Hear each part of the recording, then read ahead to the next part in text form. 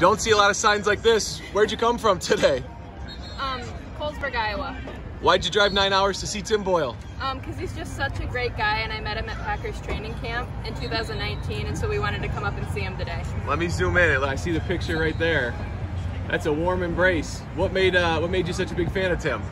Um, we just heard a lot about him and how nice of a guy he was, so I messaged him a few days before Packers training camp in 2019 and asked if he'd want to ride my bike, he said he'd um, ride with me a couple different times. So, um, so we met him, and then just ever since we've been messaging. Hoping to meet him again today. Yeah. See him again. Yep. Uh, are you Lions fan now? Converted? A little bit, yeah. A little bit. All right. Well, have fun today. Thank you. Thanks.